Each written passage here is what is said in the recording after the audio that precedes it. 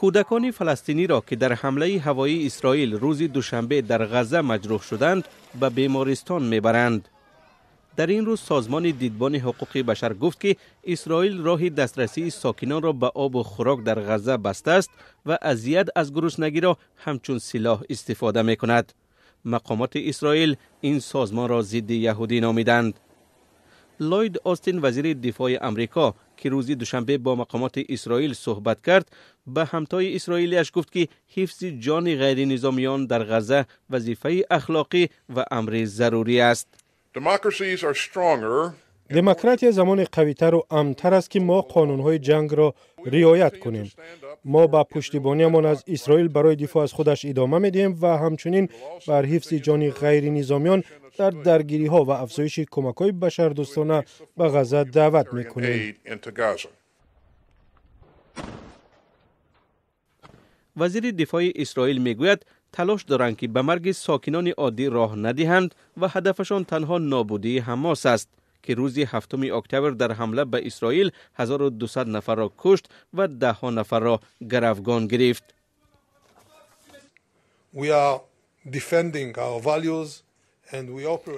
ما از ارزش های خود با ریایی قانون های بین المللی حمایت می کنیم. هر گاهی که ما درباره یاری های بشردوستانه صحبت می کنیم باید 129 گروگان در غزه را پیش رو آوریم.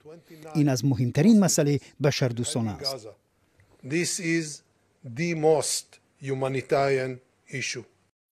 مقامداران امریکایی و اسرائیلی به حزب الله لبنان که پشتیبانش ایران است هشدار دادند که وضع را به هم نزند و آنها درباره آینده فلسطین پس از جنگ صحبت کردند.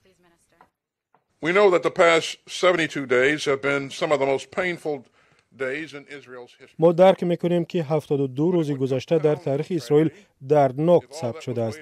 فاجعه ادامه می‌کند اگر امیدواری های مردم اسرائیل و فلسطین برآورده نشود پایان این جنگ ناامنی خشم و ناامیدی زیادتر خواهد بود. این به فایده مردم اسرائیل و فلسطین است که به سوی تشکیل دو کشور قدم گذارند و در کنار هم با صلح زندگی کنند.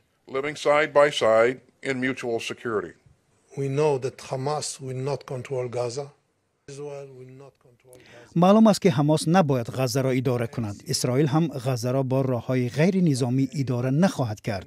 ما تمام تلاش را با راه نظامی و غیر نظامی برای حفظ امنیت و ثبات کشورمون و بنیاد جامعی آسایشته در آینده در هر دو طرف انجام می دهیم.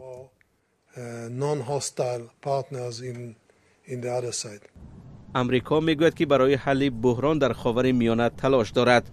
وزیر دفاع این کشور به جز از اسرائیل به بحرین و قطر نیز برای گفتگو می رود.